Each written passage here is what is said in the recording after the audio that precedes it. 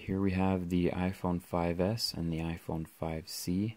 If you take a look here at the battery on the 5S, it's a 3.8 volt and a 5.92 watt hour.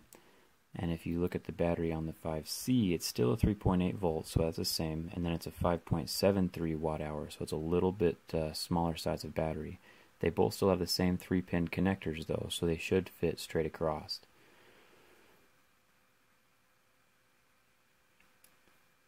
The difference between volts and watt hours is the volts is kind of how strong the battery is, and the watt hours are more how long the battery will last.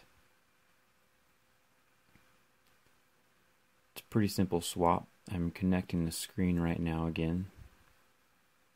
The iPhone 5C now has the iPhone 5S battery in it, and it'll last 3.3% longer than it originally would have with its own battery. And everything works great. Anyway, don't forget to like if this video was interesting or if it helped you. And uh, don't forget to leave any questions in the comment section below. And don't forget to subscribe. I'm also rocking the Twitter at Zack's Jerry Rig. And uh, believe it or not, I have a Facebook and a Google Plus account. So feel free to add me on either of those. I put up videos fairly often. Look forward to seeing you around.